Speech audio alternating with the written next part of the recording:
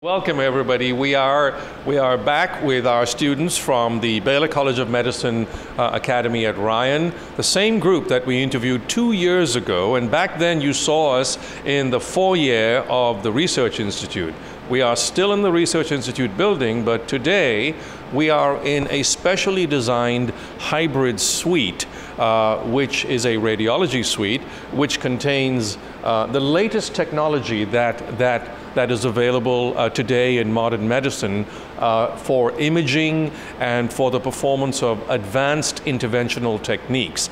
Now, this is actually particularly interesting because this room that you see over here contains the latest technology and is only used for the purposes of research and experimentation, not for human work. We use the knowledge that we gain here to apply it to our patients to improve what we do for them.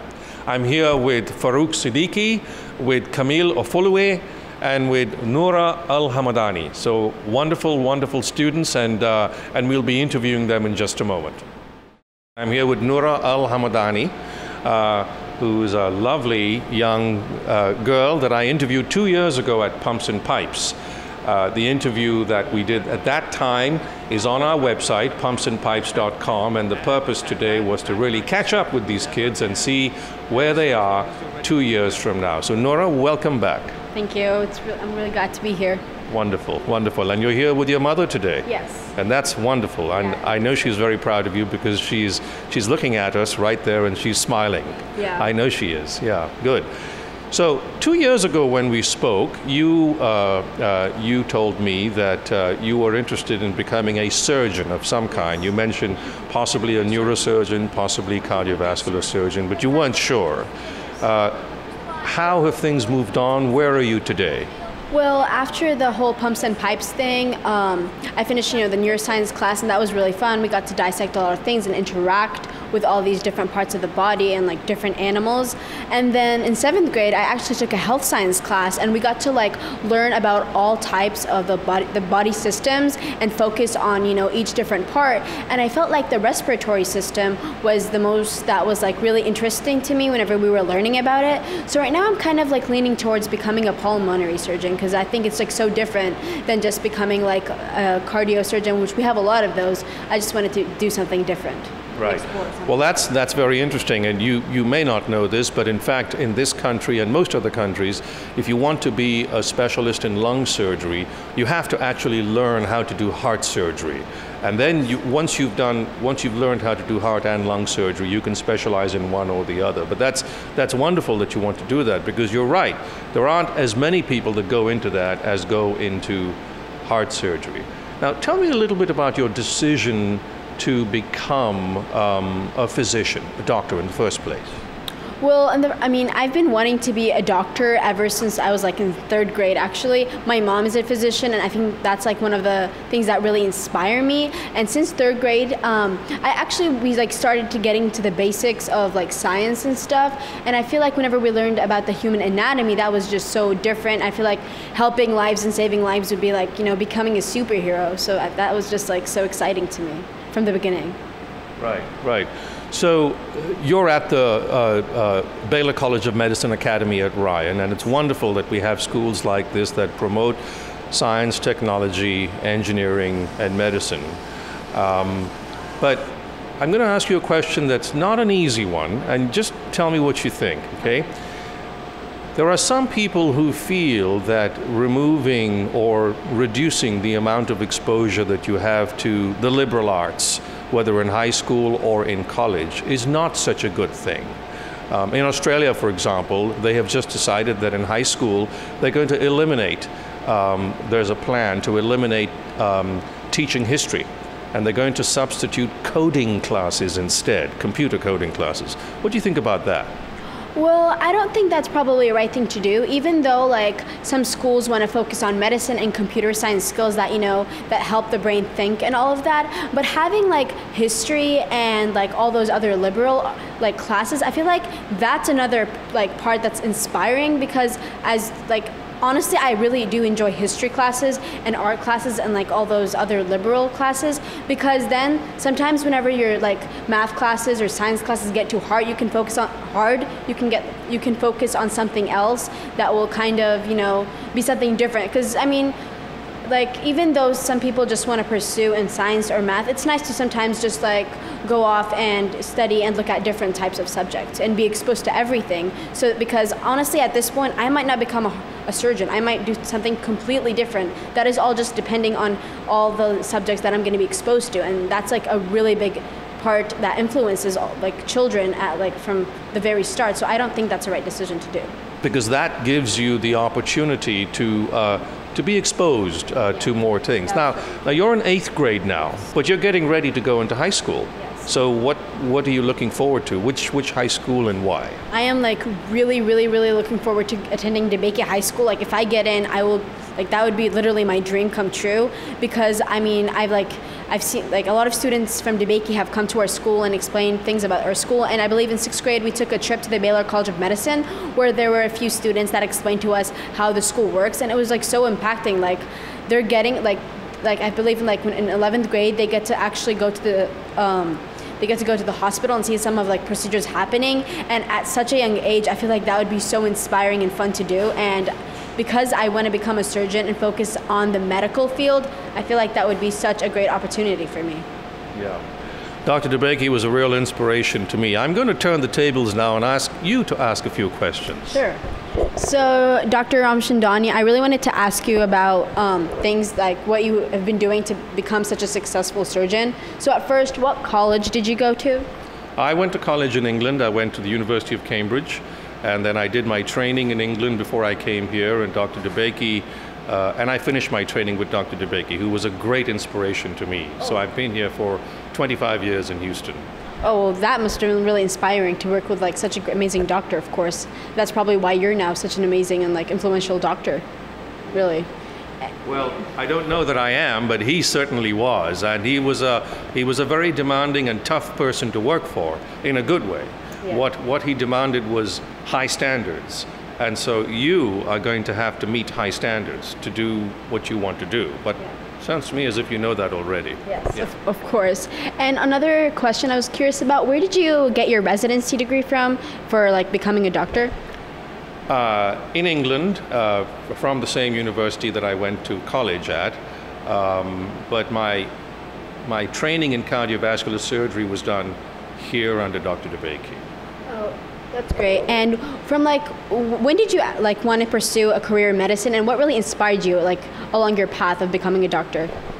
Well, I'll tell you, when I was 14, I decided I wanted to become a heart surgeon, and I don't know why, and I'm not sure it was the right age to make the decision, which is why I think that it's good for kids to have exposure to a wider variety of things. There, there are so many career opportunities out there, and you really need to know more about what's available before you make a decision. Noura, I want to say that you're a wonderful young lady, and I know why your mother is so proud of you, and I wish you all the best of luck in your career.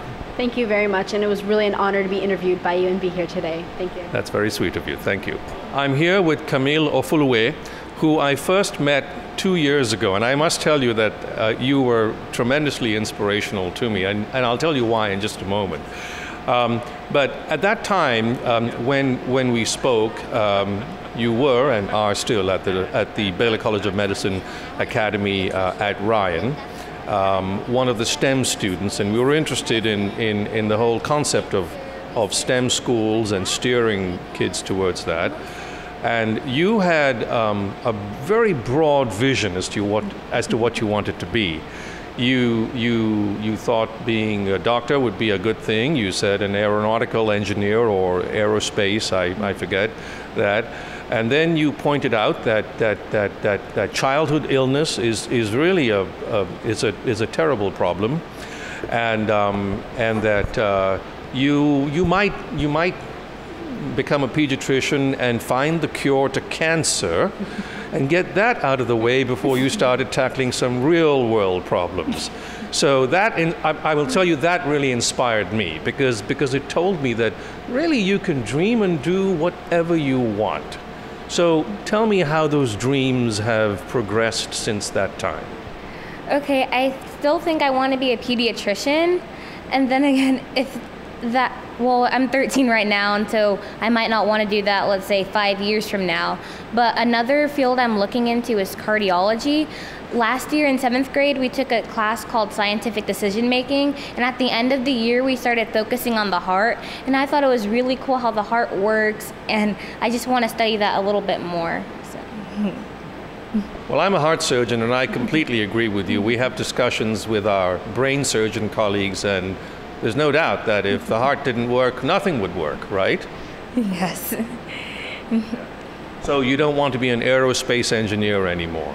I kind of like, I like the ground medicine when we're on land. Yeah.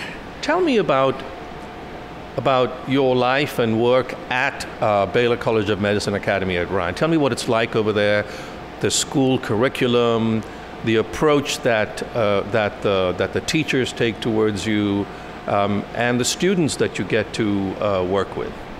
Um, in our first year, we had eighth eight classes, and now in eighth grade we have five classes a day. We do block scheduling, and I think that's actually helped me more because we get a lot more time to focus on things like biotech. Instead of having like an hour class, we have an hour and 30 minutes so we can go further into the class. And as for the students, everyone's very nice and focused because we all have the same goals and like um, underhandedly, we all want to beat the person next to us, so we always have to be on our A game.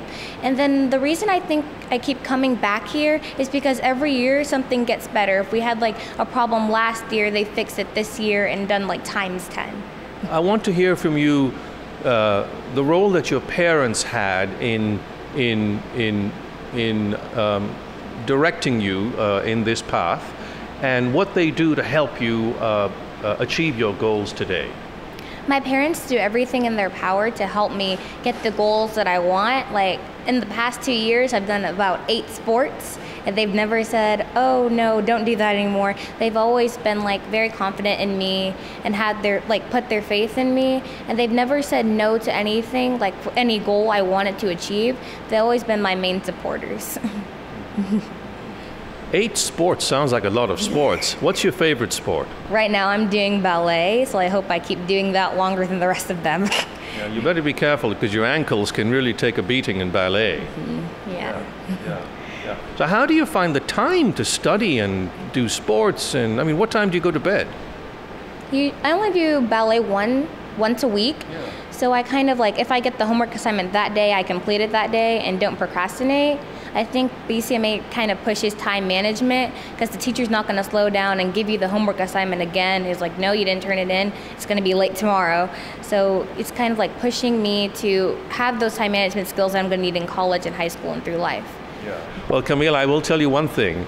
I'm very, very happy to be meeting you two years after we met, and I'm so delighted that you're on the path to what I know will be success. But I am disappointed in one thing. Mm-hmm. I'm disappointed that you no longer want to find the cure for cancer. because I really thought that if there's one person who could do it, you could. Mm-hmm. It's been a great pleasure talking to you, Camille. Great, thank you. Welcome all. Uh, again, uh, my name is Mahesh Ramchandani, cardiovascular surgeon at Houston Methodist. I'm, I'm here with Farouk Siddiqui. It was my great pleasure to interview you, Farouk, uh, Farouk two years ago. And my word, have you grown? You're almost as tall as I am now. So that's, that's, that's, that's a wonderful thing. And now you're at the Baylor College of Medicine Academy at Ryan, and two years ago you told me that you wanted to be a biomedical engineer. Uh, and you gave a really good explanation for why that was. You were interested in the biological sciences, you were interested in medicine, but you also like to tinker with your hands and you just like to make things, and it's a great way to do, to do both. So, where are you now, two years after that? Well, I still really want to be a biomedical engineer, and I've kind of expanded on that, expanded on that because in sixth grade I took neuroscience, and in seventh grade I took health science. Now in eighth grade I have elective which is robotics, and I'm like like a really good robot uh. Um, I'm really good at programming the robots to do what I want them to do, to move stuff, to mo- make their arms move up and down, and like move precisely how I want them to. Well, you're sitting in a room over here surrounded by some of the latest medical technology that is available. And in fact, we do have a robot right behind you which allows us to perform um, robotic imaging of patients. So I think people like, like you are going to take this technology to the next level because there's definitely room for improvement. Now, tell me about, uh, do, you, do you make stuff at home? Uh, not really, but sometimes for a project, I sometimes use clay and stuff to Yeah. make really cool stuff. And like, I really use creative ideas to do my projects, so they all work together. And it's like, it's not like all the same. Like sometimes I use clay, sometimes styrofoam, and mostly like that. Yeah. So when did you make the decision to go into biomedical engineering? It's a very specific thing. In fifth grade, I actually, I was actually very interested in, interested in engineering, and medicine was also on my mind. And then I, I checked in an engineering tablet uh, that was in our uh, fifth grade class, and it talked about how medicine and engineering was actually very closely connected. And like I saw, like the first thing was biomedical engineering. I'm like, that's really, I really want to do that. And I've seen a lot of applications of it too. Now, your parents must have had a huge role in, in, uh, in shepherding you along the right way. Tell me about how important that role has been that your parents play in your life. I'm, I know that they're very proud of you. I can just look at you and I just know that that's the case. Yeah, my, my, mom- my mom and dad are actually both doctors, and they both wanted to be heart surgeons. My, da- my dad is actually working as a doctor right now, and like he's studying too, like a course of radio radiology, and it's very exciting to see him learn. And then like I help him with his um, learning too, and he helps me, and like it's just a really good um, connection between all three of us and my brothers too. Yeah. We all work together, and my brothers they also want to be doctors. That's great. You never stop learning your entire life. You know, it's not that you finish school and you're done with that. It's just, it's a lifelong thing. And I'm glad you, uh, you understand that and your parents set that example for you. Now, high school is next, I guess. Have you thought about that? And then what about college? Any, any thoughts? For high school, DeBakey would be the obvious choice. Carnegie is like kind of a somewhere in there, but DeBakey is definitely a very good, like a very prominent choice for me because it has because it has a lot of um, medicine, and maybe I could do engineering in there also possibly. And for college, I really wanted to go to Rice University because of the engineering that I heard and like I've been there before actually in a lot of competitions and stuff. I've seen it and it's like, it's like I really want to learn there. It'd be awesome to learn there. I've also been to DeBakey. As part of my school, there's Camp Med. So in DeBakey, we actually go there. We get we actually study for a week there in the summer, and it's really awesome. Tell me about the experience of life at the BCM Academy at Ryan, your, your, your, your staff, the faculty, the students that you get to interact with. The staff, the students, well, they're all very good. They're all specialists in their field. The staff, all of our teachers are very good. In sixth grade, we have um, two neuroscience teachers. In seventh grade, we have two health science teachers. One is actually um, working at DeBakey right now. And then in eighth grade, we have robotics, and like I said, and the students, they're very um, like like the other people they're very good at learning they really want to learn and like i can feel that i i'm really happy there and i really and i can feel that everyone else wants to learn with me and we connect stuff together in history and math and science and technology and everything.